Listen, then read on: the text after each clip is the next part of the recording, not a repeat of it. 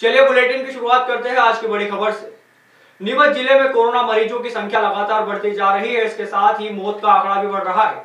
शुक्रवार को जहाँ पाँच लोगों की कोरोना प्रोटोकॉल के अनुसार अंतिम संस्कार किया गया, वहीं शनिवार को भी चार लोगों का कोरोना प्रोटोकॉल के अनुसार शमशान में अंतिम संस्कार किया गया। अब तक करीब बयालीस लोगों की कोरोना से मौत हो चुकी है। यह आंकड़े स्वास्थ्य विभाग के कोरोना से मौत के आंकड़े रोज़ाना बढ़ते जा रहे हैं। जहाँ शुक्रवार को नीमच मुक्तिधाम पर पाँच लोगों का अंतिम संस्कार हुआ, वहीं शनिवार को भी बस स्टैंड स्थित शमशान घाट में दोपहर दो बजे तक चार लोगों का अंतिम संस्कार किया गया। एक के बाद एक चौ का कोरोना प्रोटोकॉल के अनुसार अंतिम संस्कार किया गया। शनिवार को राजीव प्रकाश, उम्र सैतालीस वर्ष, निवासी विकास नगर, सुरेश राम लखन, उम्र सैतालीस साल, निवासी टीआईटी कॉलोनी शिवकन्या बाई पति रामेश्वर उम्र 48 वर्ष, बगाना और शारदा देवी पति देवीलाल उम्र पिचहत्तर वर्ष, निवासी चीताखेड़ा की कोरोना से मौत होने के बाद कोरोना प्रोटोकॉल के मुताबिक अंतिम संस्कार किया गया। कोरोना की दूसरी लहर में नीमच ज़िले में मौत का आंकड़ा बहुत तेज़ी से बढ़ रहा है। रोज चार से पाँच लोगों की कोविड से मौत हो रही है, लेकिन स्वास्थ्य विभाग का आंकड़ा जो का त्यों है। स्वास्थ्य विभाग के मुताबिक अब तक बयालीस लोगों की कोविड से मौत हुई है। सीएमएचओ डॉक्टर महेश मालवी कहते हैं कि कुछ मौतें ऐसी होती है जिनकी आरटीपीसीआर रिपोर्ट आना शेष रहती है जिसका अंतिम संस्कार कोरोना प्रोटोकॉल से किया जाता है। इसलिए जब तक रिपोर्ट आगे से हासिल नहीं होती तब तक उनकी मृत्यु कोविड में नहीं मानी जाती है। डॉक्टर मालवीय ने कहा कि अभी कोरोना से रिकवरी रेट कम है और यह कोरोना की दूसरी लहर घातक है जिसका संक्रमण बच्चों में भी पाया जा रहा है। इससे बचने के लिए मास्क लगाए सोशल डिस्टेंसिंग का पालन करें और बेवजह बाज़ार में ना घूमें। कुछ ए, कुछ मृत्यु के आंकड़े ऐसे होते हैं जो जिनका अंडर अ, मतलब सस्पेक्ट्स रहते हैं उनकी R T P C R या वो जाँच की जाती है जिसके कारण वो उनको जब तक उसकी रिपोर्ट नहीं आती तब तक उसको कारण कोरोना के कारण मृत्यु का हम दर्शा नहीं सकते। और हम बिल्कुल जो भी मृत्यु होती है उसका आंकड़े बराबर हम बताते हैं हमारे जो बुलेटिन निकलता है उसके अंदर हम दर्शाते हैं।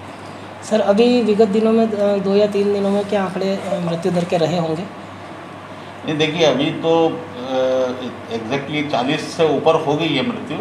और अभी जैसे मेरे पास आते हैं जानकारी जैसी आती है और जो आप लोग पता मुझसे पूछते हैं तो मैं बराबर उनको बताता हूँ। चालीस से ऊपर मृत्यु हो चुकी है अभी तक। अभी मेरे पास अपडेटेड डिटेल नहीं आया है। जैसे अपडेटेड डिटेल आएगा मैं आप लोगों का अवगत करा सर कोरोना प्रोटोकॉल के तहत इनका अंतिम संस्कार किस हिसाब से किया बिल्कुल कोरोना प्रोटोकॉल के हिसाब से जो हमारे अस्पताल में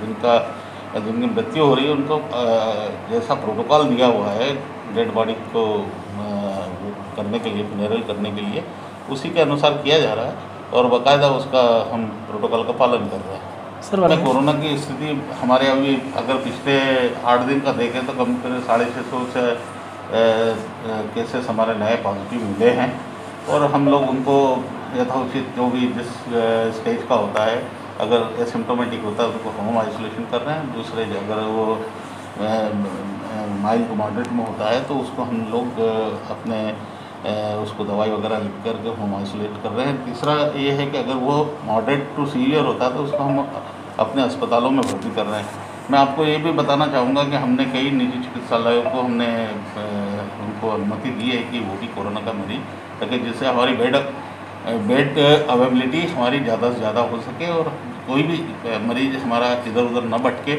बेड के अभाव में। रिकवरी रेट थोड़ी सी कम है, टाइम लग रहा है, क्योंकि ये स्ट्रेन दूसरा वाला स्ट्रेन है और ये बहुत ही मतलब तेज़ी से फैलने वाला है।